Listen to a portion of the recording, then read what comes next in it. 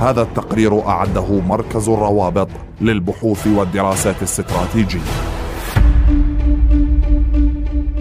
تابع مركز الروابط للبحوث والدراسات الاستراتيجية مقابلة إعلامية مع رئيس إقليم كردستان العراق نيتشيرفان بارزاني. تحدث فيها عن الأوضاع العامة في العراق وطرح رؤيته لحل مشاكل البلاد ومستقبلها. بارزاني أكد أن تحقيق الاستقرار في البلد يتطلب أن تكون للأطراف كافة فهم ورؤية مشتركين لمستقبل العراق وأن يعملوا على أساس الدستور ومبادئ التوافق والشراكة وأن يعتبروا من كل أخطاء الماضي وأن المرحلة الانتقالية في العراق بعد مرور 18 عاما قد انتهت ولم يعد العراقيون يتقبلون من سياسي بلدهم شعارات تخلو من المضامين يرى متابعون أن رئيس إقليم كردستان نيتشيرفان بارزاني قد تحدث بكل صراحة ومسؤولية واعترف أيضا ببعض الأخطاء وشدد على أن الكرد هم جزء من العراق دون أن يتطرق في حديثه لحق تقرير المصير أو حملات الاضطهاد السابقة التي طالتهم. بارزاني عمل على تطوير النظم الاقتصادية والاجتماعية للإقليم وجلب الاستثمار الأجنبي عبر إصدار قانون الاستثمار الذي منح المستثمرين الأجانب امتيازات كثيرة وطور التجاره الداخلية والخارجية حتى وصل حجم التبادل التجاري مع تركيا مثلا إلى 12 مليار دولار سنويا. أما على الصعيد السياسي فكثيرا ما يوصف برجل المهمات الصعبة فكلما وقع الإقليم في أزمة سارع إلى إيجاد مخرج لها. ففي ذروة أزمة الإقليم مع بغداد جراء الاستفتاء عام 2017